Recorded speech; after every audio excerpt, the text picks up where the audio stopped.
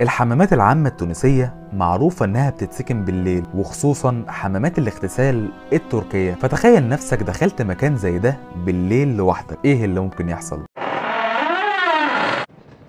اكسبلور ويلا نبدأ. حمامات الاغتسال التركية دي بيدخلوها الناس جماعات علشان يتونسوا ببعض يعني ويكونوا مطمنين. ولكن في ليلة راحت سيدة حمام من الحمامات دي لوحدها. فصاحبة الحمام قالت لها بلاش يعني تدخلي في وقت زي ده خصوصا إنها هتكون لوحدها يعني وكده. ولكن الست دي أصرت إنها تدخل. فبالفعل صاحبة الحمام فتحته والست دخلت وكان كل شيء طبيعي. ولكن بعد ساعة بس بدأت الست تصرخ بشكل مرعب. فدخلت بسرعة عليها صاحبة الحمام واتذهلت من شكلها. الست دي كانت داخلة شعرها أسود وكانت شابة صغيرة ولكن لما صاحبة الحمام شافتها لقت شعرها كله بقى أبيض وشكلها بقى يدي أكبر من سنها بكتير جدا. وكان اللبس اللي عليها متقطع وجسمها كله خرابيش. والست دي من وقتها ما بقتش تقدر تتكلم ابدا. والحمام كمان من بعديها اتقفل. لأن كل الناس حتى اللي كانوا بيدخلوا في جامعات كان بيحصل عليهم هجوم غريب ما يعرفوش جاي منين. فهل ممكن يجيلك قلب تدخل مكان فعلا زي ده؟